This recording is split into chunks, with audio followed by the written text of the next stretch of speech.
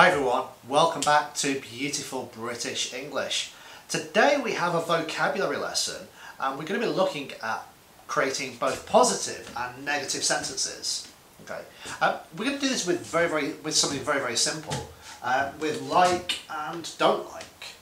Okay, now obviously, like is a positive sentence, or would be used in a positive sentence. Say, for example, I like pizza.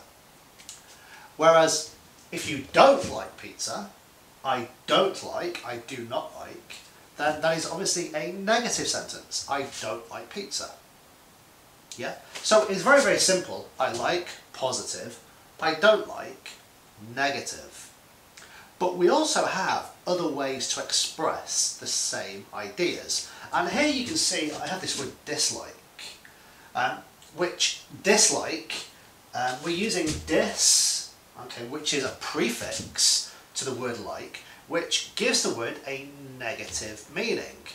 I dislike pizza. But what is the difference between dislike and don't like? What do you think? Well, let me give you my idea about the difference.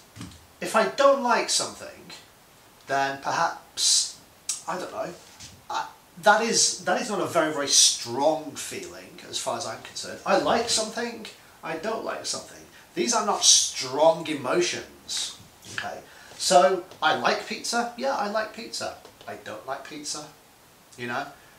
It's kind of like that. These are almost sort of 50-50. But when we start using words like dislike, dislike is very much um, a stronger word. It's um, it, it kind of has, um, I would say, very much more an active um, component to it. If you dislike something, you're definitely not just sort of 50-50. I dis if I dislike something, that is very much, you know, um, I, I actively do my best to not go anywhere near it. Yeah? Uh, so it's much, much stronger. Now, what we can do is we can put like, don't like and dislike onto, say, a, a scale just to sort of show you exactly what I mean by this. So obviously like will be in the positive element, positive side. I don't like and I dislike are negatives. But we can also sort of take this scale that you can see and we can expand it.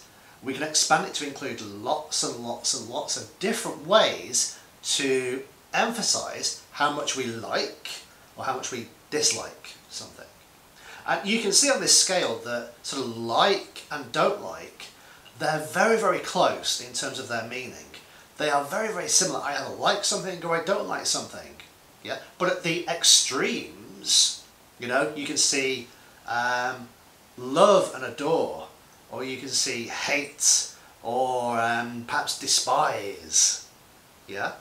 So there are lots and lots of different ways that you can add meaning or more emphasis to your negative sentences. Yeah?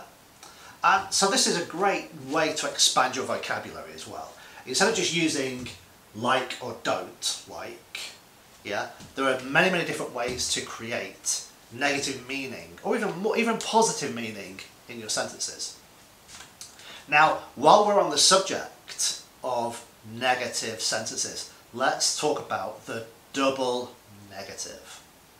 So, the double negative. Now, the double negative in English, is it's really important that you understand why double negatives are incorrect, but also why some double, double negatives are actually okay.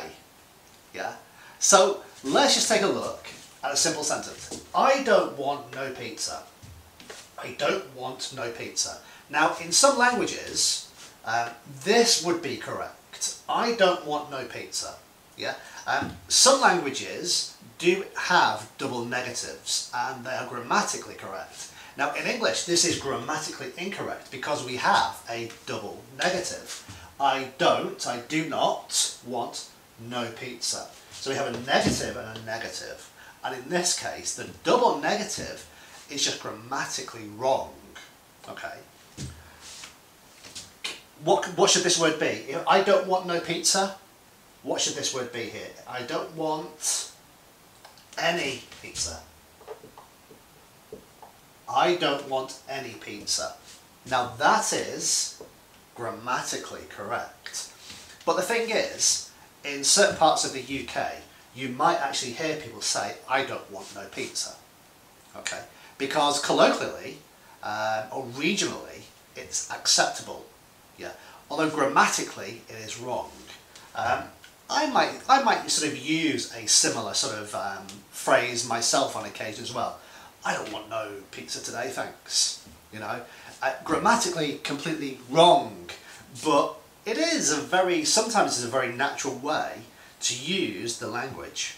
Okay, um, but you do have to be, so you do have to be really careful about your double negatives, okay.